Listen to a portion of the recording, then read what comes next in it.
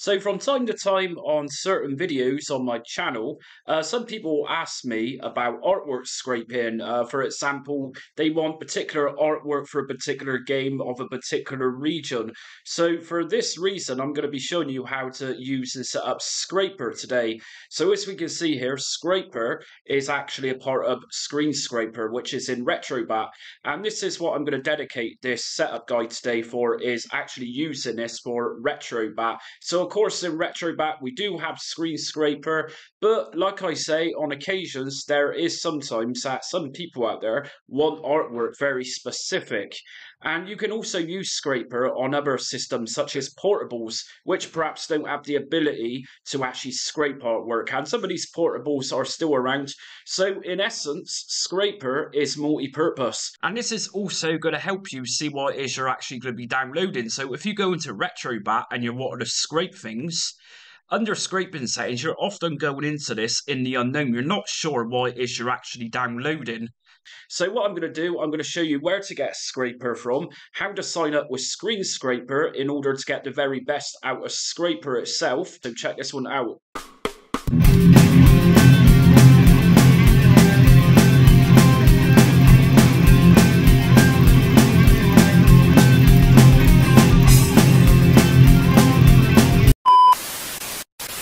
So, as I always say, if you've not yet subscribed to my channel and hit notifications and also like, make sure you do that by the end of the video if you like what you see today. So, let's get on with Skraper. Link's going to be in my description for this one as always. So, we're going to head over to the Skraper website and just take a little look through here. It's going to give you a bit of information what Skraper is and what it can do. So it's pretty much customizing how you download your artwork for your games, and it's run by Screen Scraper in the background, that type of thing. So what we're going to do is just head over to the download tab at the top. And this is also available for Mac and Linux, as we can see. And as of now, Skraper is on 1.1.1. So I'm going to be downloading this for Windows and I'm going to just download for Windows. So once we've got our download, just open this one up and it downloads into a RAR file. In my case, you might download it in a 7-zip or WinZip archive. So what we're going to do is on desktop, I'm going to right click, just go to new and folder, and I'm going to call this scraper. You can call this whatever you want. Now I'm going to highlight everything in this WinRAR archive and just drag everything into this scraper folder I've just created. And that's that. So we can now close this one down. And let's go into scraper. Now, the one we're looking for is the application at the bottom, Skraper UI. So if you double left click on this one, so this part is entirely optional. Like I just said, this is based on Screen Scraper. So you're going to need to head over to Screen Scraper and make an account, which is very easy. So this is Screen Scraper, and this is where you need to head to register and make an account in order to use Skraper. You can use a free version of Skraper, but it's limited. And to be honest, because Screen Scraper is free, you're just better off signing up. So just go to register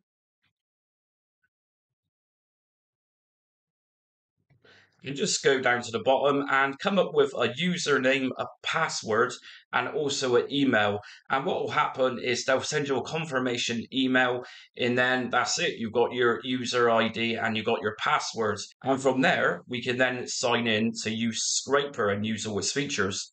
So I'm going to just type in my details. And just press validate once you've done that. And then you'll get scrape engines enabled, and then we're just going to go to next.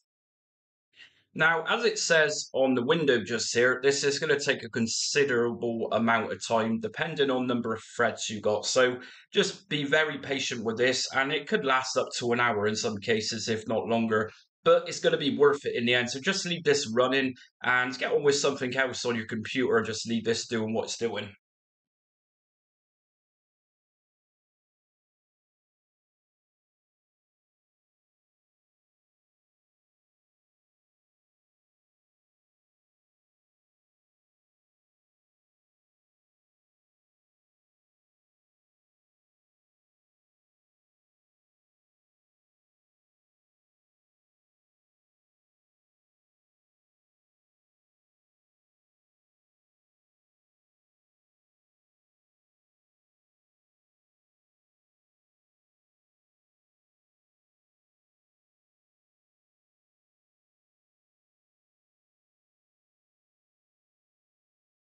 Okay, so the next part of this installation process is going to be this screen. And because I'm doing this for RetroBat, I'm not doing RetroPie, Recalbox, or Launchbox. I'm going to do generic emulation as RetroBat isn't here. So I click on there and I press next.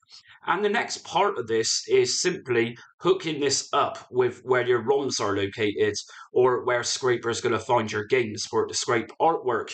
So for this reason, I've created a new folder on my desktop with a couple of systems inside of it, and I've made new folders for these, which are Amiga and also SNES. Now, I'm not putting this directly into my RetroBat ROMs folder because I want to show you how to move your images around through to RetroBat. So all I'm going to do is link this one up to my ROMs folder on my desktop by pressing on the folder here. Desktop, and ROMs. And if I press OK, and I'm also going to be checking inspect subfolders, and I'm going to press next and next again. And here we go. So we got both of our systems listed here in the Skraper graphical user interface. And I'm going to press play and scraping all systems may take a long while. Continue. OK. And of course, this process can take a lot longer if you've got a lot of games, so just be patient on this part.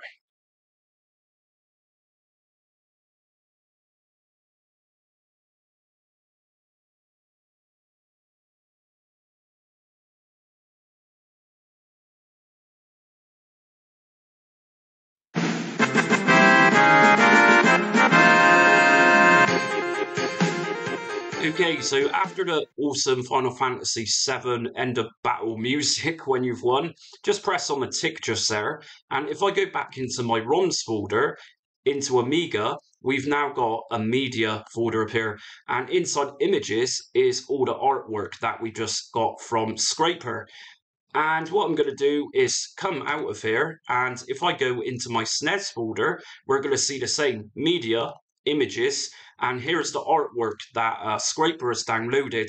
So what we're going to do next is actually head into RetroBat because we need to set an option which is going to allow it to detect our images that we're manually going to put inside of its folder. So enter RetroBat.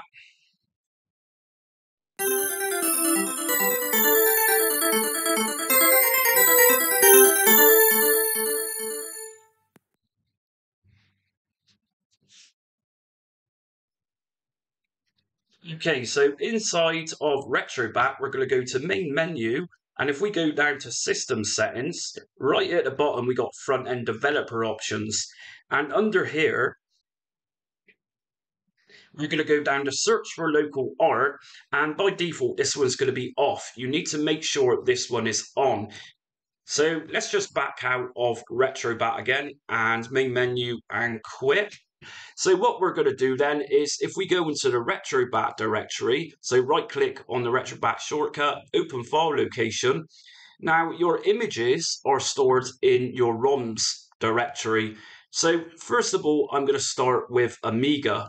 So what I'm going to do is just copy my Amiga games into my RetroBat ROMs directory and if I go into the media folder, I'm also going to take out images and also drag this into the ROMs Amiga directory in RetroBat. And if I come out of here, I'm also going to be doing the same for the Super Nintendo. So just drag this over a bit. And if we just go down to find SNES, So again, for SNES, I'm going to drag my three games in there I've just scraped artwork for. And I'm also going to go into the media folder and drag in that images folder. And if I go back into RetroBat now,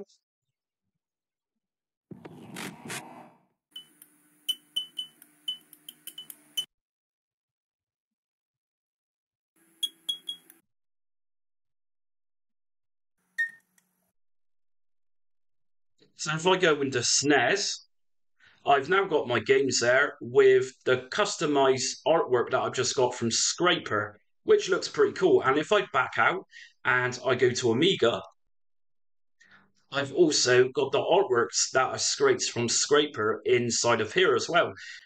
So if we go back into Skraper, I'll show you how we can customize what it is we're downloading. If we go to the media type and we go to internal mix and go back to this section here, we can then change how we want these images downloaded. And again, it's just a process of just copying the images and putting them into the ROMs folder within RetroBat. So that's it from my Skraper setup guide today. So in some cases, some people out there might not be able to download the artwork that you want, which RetroBat has built in through Screen Scraper, and this is where Skraper comes in handy. You can actually customize your artwork and download a multitude of different artworks for a single game, as you've seen in this video today. It's a really cool tool, but like I say, it takes a little while installing it initially. So if you like what you see in today's video, hit notifications, subscribe and like, and also check me out on social media. I'm on Facebook, Instagram, Twitter, and TikTok. And also be sure to check out my entire playlist for Retro Bat. Uh, links in my description for all of my Retro Bat setups anyways. But until next time, stay retro.